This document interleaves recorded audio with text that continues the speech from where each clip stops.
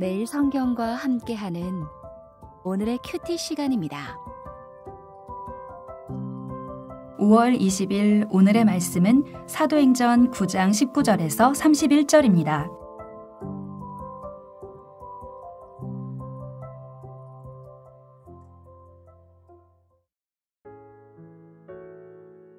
사울이 다메섹에 있는 제자들과 함께 며칠 있을새 즉시로 각 회당에서 예수가 하나님의 아들이심을 전파하니 듣는 사람이 다 놀라 말하되 이 사람이 예루살렘에서 이 이름을 부르는 사람을 멸하려던 자가 아니냐.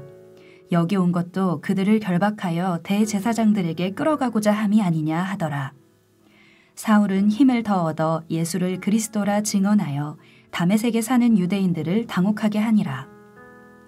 여러 날이 지남에 유대인들이 사울 죽이기를 공모하더니 그 계교가 사울에게 알려지니라. 그들이 그를 죽이려고 밤낮으로 성문까지 지키거늘 그의 제자들이 밤에 사울을 광주리에 담아 성벽에서 달아내리니라. 사울이 예루살렘에 가서 제자들을 사귀고자 하나 다 두려워하여 그가 제자됨을 믿지 아니하니 바나바가 데리고 사도들에게 가서 그가 길에서 어떻게 주를 보았는지와 주께서 그에게 말씀하신 일과 담에색에서 그가 어떻게 예수의 이름으로 담대히 말하였는지를 전하니라. 사울이 제자들과 함께 있어 예루살렘에 출입하며 또 주 예수의 이름으로 담대히 말하고 헬라파 유대인들과 함께 말하며 변론하니 그 사람들이 죽이려고 힘쓰거늘 형제들이 알고 가이사랴로 데리고 내려가서 다소로 보내니라. 그리하여 온 유대와 갈릴리와 사마리아 교회가 평안하여 든든히 서가고 주를 경외함과 성령의 위로로 진행하여 수가 더 많아지니라. 함께 묵상할 말씀은 사도행전 9장 19절에서 31절까지 말씀입니다. 아나니아의 안수 기도를 통해 다시 보게 된 사울은 세례와 함께 곧이어 성령 충만을 받게 됩니다. 그리고 이어서 사울은 다메섹에 있던 다른 제자들과 며칠을 교제한 후 바로 다메섹 해당에 들어가서 예수님이 하나님의 아들임을 선포하게 됩니다. 그런 사울의 모습에 동족 해당의 공동체 디아스포라 유대인들은 충격을 받았을 것입니다. 분명 예수를 박해하러 온 그가 예수를 하나님의 아들로 선포하며 그 도를 따르기를 자처함으로 놀라지 않을 수 없었을 것입니다. 사울이 방문하여 그리스도인들의 핍박하기를 기대했던 유대인들 입장에서는 이런 변화된 사울의 모습에 거센 저항을 불러왔습니다.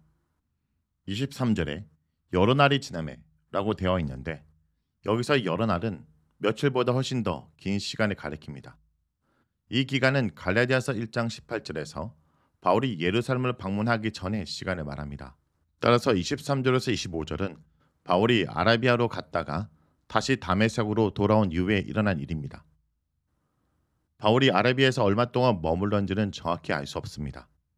다메섹의 유대인들은 사울을 암살하려는 음모를 꾸몄지만 그 얘기 탄로나는 바람에 다메섹에 있는 그리스도인들이 사울을 강줄에 놓고 성 밖으로 탈주시킵니다. 이 일에 대해 사도 바울도 고린도후서 11장 32절에서 33절에 이것을 언급합니다. 다메섹에서 아레데 왕의 고관이 나를 잡으려고 다메섹 성을 지켰으나 나는 강주리를 타고 들창문으로 성벽을 내려가 그 손에서 벗어나노라. 이것은 아나니에게 예수님이 말씀해 주신 것처럼 예수님의 제자로서의 사울의 핍박과 고난이 시작된 것을 시사하고 있습니다. 밤에 담에색에서 빠져나온 사울은 예루살렘으로 자신의 발걸음을 옮겼습니다. 주 예수의 이름을 부르는 자들을 잡아오기 위해 3년 전 예루살렘으로 떠났던 사울이 이제 예수님의 이름을 선전하는 자로 변화되어 유대인들로부터 핍박과 죽음을 당할 위험을 피해 예루살렘으로 다시 오게 된 것입니다. 그러나 예루살렘에 있는 교회 지도자들도 이런 사울에 대해 처음부터 환영하는 분위기는 아니었습니다. 사울은 유대교의 대제사장 대신에 예루살렘에서 예수님의 제자들을 만나고 교제하려고 했지만 과거 자신의 악명으로 인해 예루살렘의 성도들은 여전히 그를 꺼리며 두려워할 수밖에 없었습니다. 예루살렘에서 그리스도인들에게 행한 핍박하는 모습이 아직도 눈에 선명했을 것이고 사울이 예수님의 제자로 변화됐다는 사실도 순전히 받아들일 수 없었을 것입니다. 이때 예루살렘 사도들에게 사울을 소개하고 추천한 자가 구부르에서 레이 가문으로 출생한 요셉입니다. 그는 평소에 예루살렘 신앙 공동체 안에서 성도들을 잘 보살피면서 덕을 끼침으로 사도로부터 인정을 받아 바나바, 즉 위로의 아들로 불리는 자였습니다. 아무도 사울에게 쉽게 접근하려고 하지 않을 때 바나바가 그에게 다가가 그를 교회 지도자들에게 소개합니다. 말하자면 예루살렘 사도들은 바나바를 통해서 사울이 어떻게 다메섹 도상에서 예수님을 만나게 되었고 사울의 심후 다메섹에서 어떻게 예수님을 담대히 증거했는지 더욱 자세하고 확실하게 알게 된 것입니다. 이것은 사울이 사도들을 만나기 전 바나바의 만날 기회가 있음을 시사하며 이 교제를 통해 바나바는 사울과 같은 형제로서 예수님의 사람인 것을 충분히 인식했음을 알려줍니다.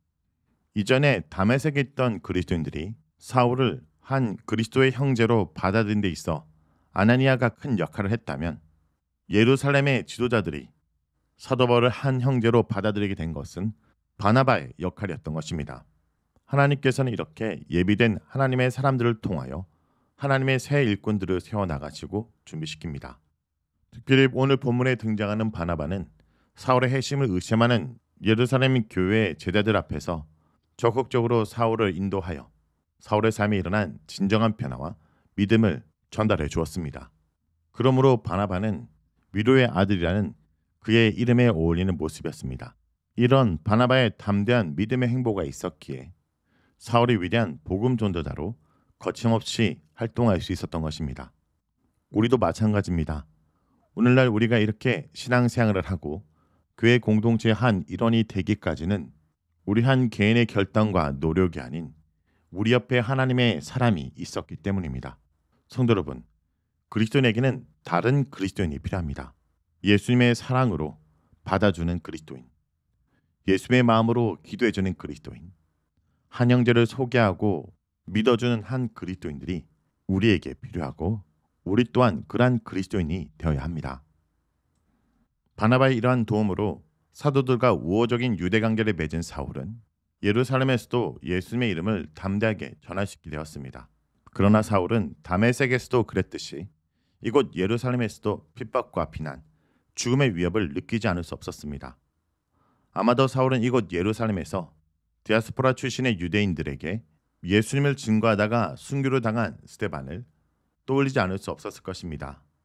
그리고 무엇보다 스테반의 죽음을 당연히 여기며 그 자리에 서 있었던 과거의 자신의 모습을 회상하면서 사울은 더욱 결연한 자세로 순교를 각오하며 그도가 변론했을 것입니다. 그 결과 유대인들은 사울을 살해하려는 음모를 꾸미게 되고 그 사실을 알게 된 성도들은 그를 가이사로 데려간 후 다시 다소로 보냅니다. 가이사는 항구 도시였고 다소는 길라의 수도이며 학문이 발달한 도시로 알려져 있었습니다. 이 사건 이후 본문은 다소에 도착한 사울에 대해서 잠시 침묵합니다. 사울의 이야기는 사도행전 11장 25절에서 다시 등장하기까지 잠시 사라지게 됩니다.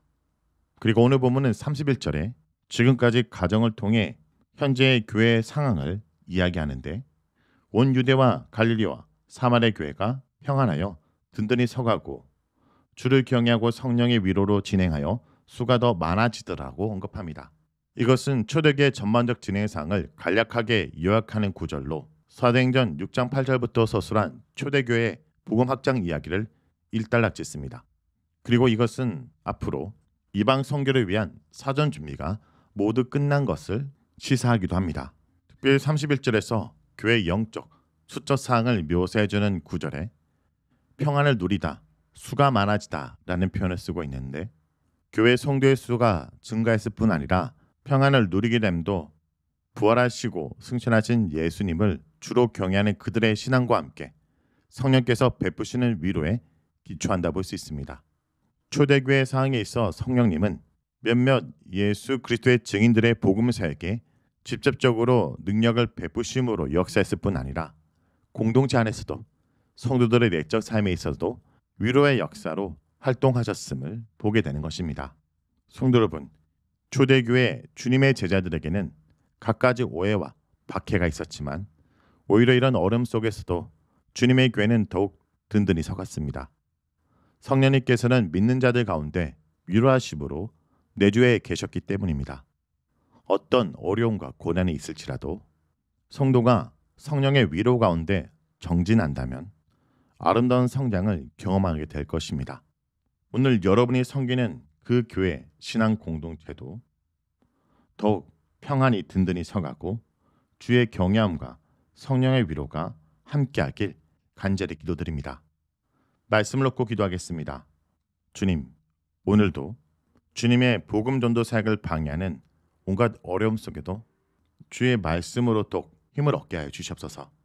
무엇보다 주님의 일은 나 혼자의 열정으로 되는 것이 아니라 성도의 연합과 서로를 세워줌으로 이루어진다는 것을 잊지 않게 하여 주옵소서. 오늘도 우리가 누군가에게 바나바가 되어 그를 한 형제로 품고 그의 성장을 돕고 그가 온전히 하나님의 사람으로 살아낼 수 있도록 돕는 위로의 자녀로 살아가게 해 주옵소서. 예수의 이름으로 기도합니다. 아멘.